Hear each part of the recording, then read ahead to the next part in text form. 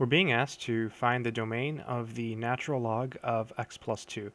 The domain is the set of all inputs. In other words, it's the set of all x's that we can plug into this function that makes sense.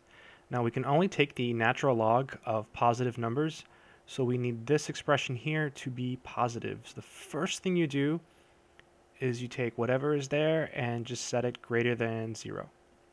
Then you solve this inequality by subtracting 2 from both sides. So you get x greater than negative 2.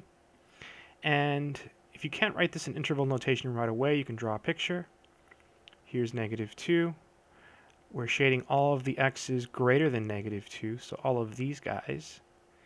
And we're not including the negative 2 because we have a strict inequality, so we'll use a parentheses. So the final answer is the interval negative 2 to infinity. So that's one way to do it.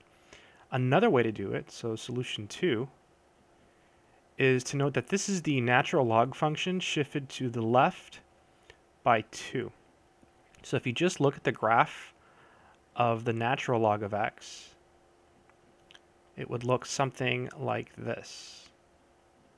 This is the natural log of x, and it has a vertical asymptote at 0. So this is the graph of the natural log of x shifted to the left by 2.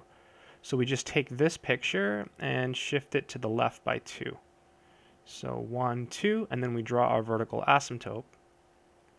And it looks something like that. And so from the picture, you can see that the domain is all of the x's. So we start at negative 2, and we don't include it. And we go all the way to infinity.